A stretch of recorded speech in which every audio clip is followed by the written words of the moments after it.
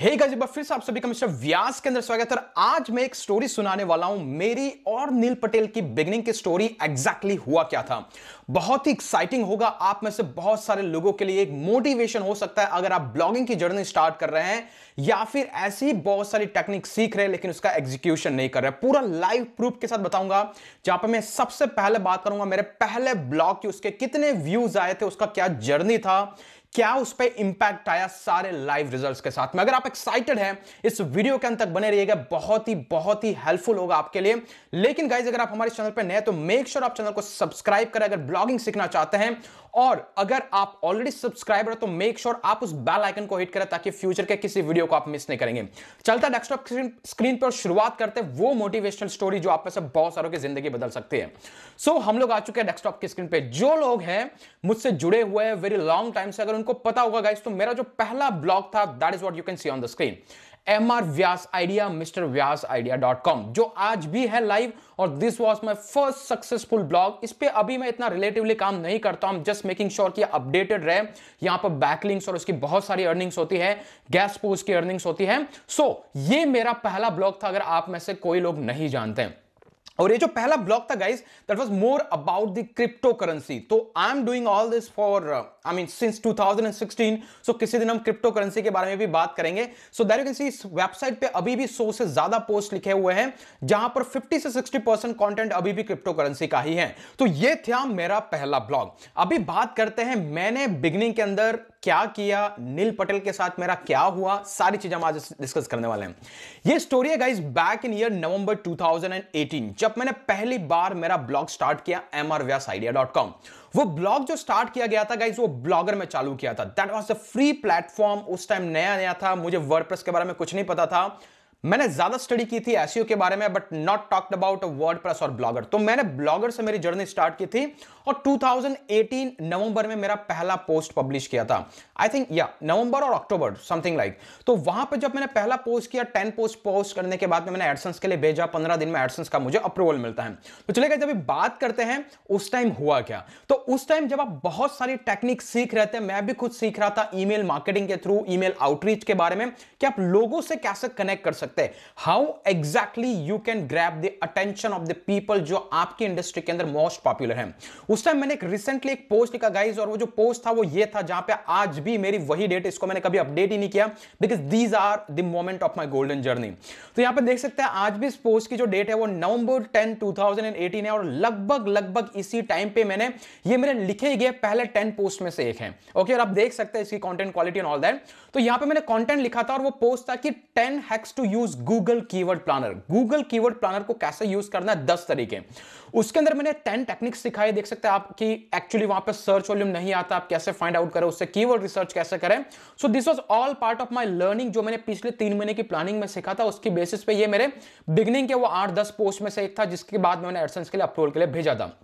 जब इस पूरे पोस्ट को लिखा गया गाइस तो इसमें से मैंने कुछ अदर भी सजेशंस दिए थे कि आपको कीवर्ड का रेशियो तो मिल जाएगा गूगल कीवर्ड प्लानर से। लेकिन अगर आपको एसईओ के लिए जानना है गाइस तो आपको एक टूल यूज़ करना चाहिए। And the tool was Ubersuggest तो यहाँ पे इस पोस्ट को जैसे आप स्क्रॉल डाउन करेंगे 10 पॉइंट्स के बाद में मैंने यहाँ पर एक टूल को इंक्लूड किया जिसका नाम था उबर सजेस्ट देख सकते हैं यहाँ पे? अभी भी है यहाँ पे। तो ये जो टूल जब मैंने इंक्लूड किया और उसी टाइम में सीख रहा था ईमेल आउटरीच की क्या टेक्निक होती है, और मैंने क्या किया? एक ईमेल ड्राफ्ट किया।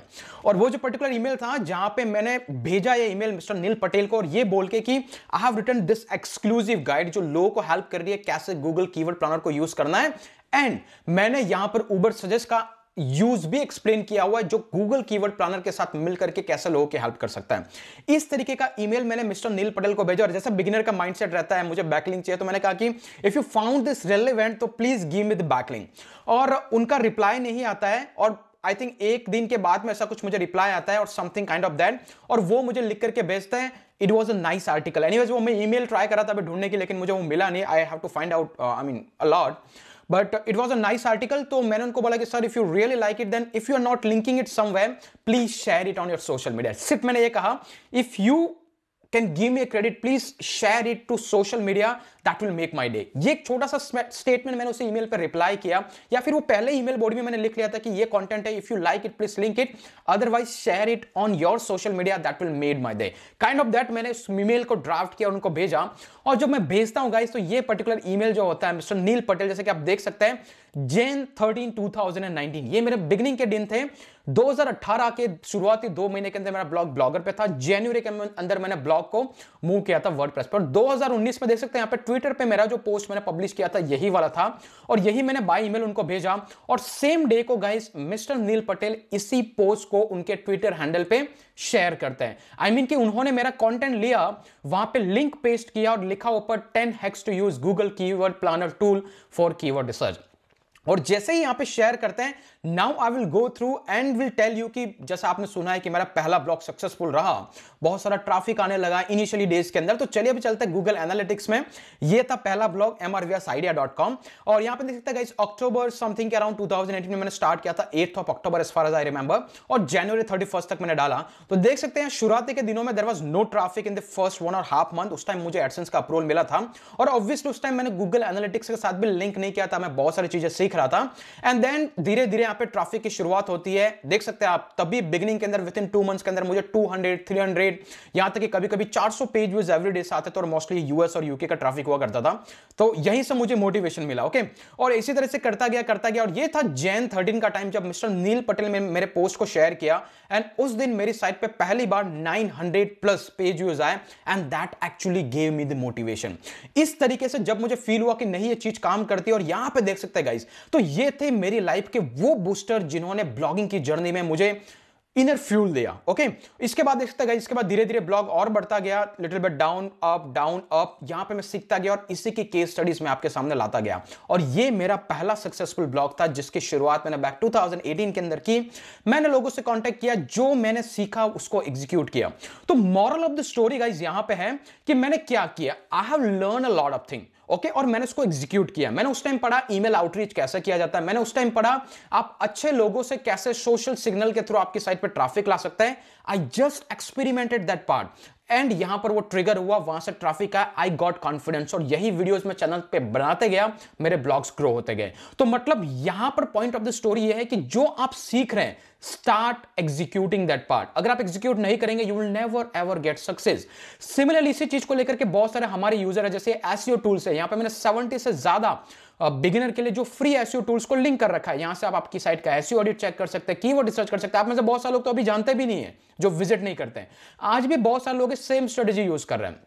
मेरे इस टूल के बारे में लिखते हैं, उनकी साइट पे, और मुझे वो पोस्ट भेजता है I am sharing it someway तो इसी तरीके से आप किसी भी इंडस्ट्री का कोई ब्लॉग बना रहे हैं या किसी भी पर्टिकुलर चीज़ में काम कर रहे हैं स्टार्ट डूइंग एग्जीक्यूशन जो आप एग्जीक्यूट करेंगे, उसी से आपको रिजल्ट्स आएँगे. Otherwise there will be no results so this is the beginning and how I got connected with him और ऑब्वियसली एक बिगिनर के लिए जो किस इंडस्ट्री में आता है when you connect with such people जो उस इंडस्ट्री के अंदर ऑलरेडी रेप्यूटेड पर्सन है तो you will obviously get motivated इसके बाद मैंने ऐसा कुछ किया नहीं but this was the beginning and how I started my journey so I hope guys ये वीडियो आपके लिए मोटिवेशनल लगा होगा. अगर ऐसे स्टोरीज आप और जानना चाहते हैं धीरे धीरे मेरे बारे में समझना चाहते हैं, और बहुत सारे इंसाइट्स को जानना चाहते हैं, मुझे कमेंट करके ज़रूर बताइए, ये आपको कैसा लगा?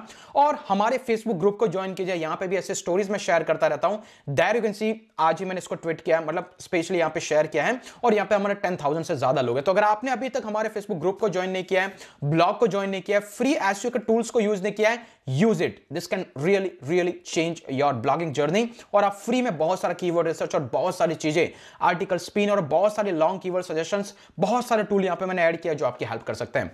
आई होप गाइस कि आपको इस वीडियो से कुछ अच्छा और इनोवेटिव और something really really motivational idea मिला होगा। आज के लिए इतना ही, और फिर मिलेंगे वीडियो के अंदर। तब तक के लिए जय हिंद, जय भारत।